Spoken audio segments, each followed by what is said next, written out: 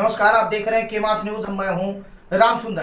केमास news की ताज़ा तरीन खबरों को देखने के लिए विज़िट करें www.kmasnews.com नमस्कार, मैं बिंदेश्वर कुमार, आप देख रहे हैं केमास न्यूज़ मैं इस समय आजमगढ़ के पलना ब्लॉक के तहत ग्राम सभा कटाई में उपस्थित हूँ। यहाँ पे राशन कार्ड वितरण हो रहा है बच्चों का जो है।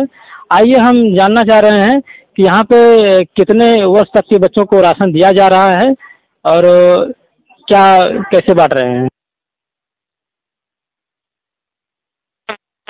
प्रधान जी के द्वारा ही जानना चाहेंगे कि क्या प्रोसेस यहाँ पे क्या चल रहा है। प्रधान जी बताइए। यहाँ पर विगत वर्षों की तरह बच्चों का पुष्टाहार बढ़ता है वो हर महीने जैसे आता है वैसे बढ़ता है। वही आया हुआ है वही बट रहा है। ये देख लीजिए इधर सब महिलाएँ हैं गाँव की बैठी हुई जो माताएँ हैं जिनको लेना है जिनकी बच्चियाँ बच्चे हैं वही वही लेते हैं लोग। तो प्रधान जी पहले आप अपना परिचय देते हुए बताइए कि यहाँ पर क्या हो रहा है।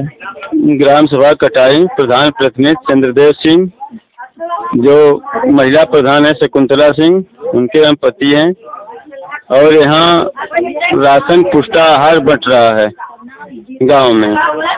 ये पुष्टाहार जो राशन बट रहा है कितने वर्ष के बच्चों को बांटा जाता है? ये ज़ीरो वर्ष से ज़ीरो से तीन वर्ष तक। छोटे बच्चे और तीन वर्ष से छह वर्ष बड़े बच्चे।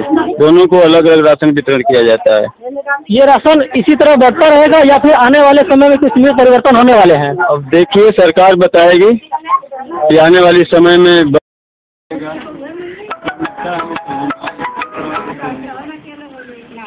जैसा कि प्रधान जी बताए हैं कि सरकार की योजना में ये राशन आता है जब सरकार आता है तो बच्चों का वितरण किया जाता है।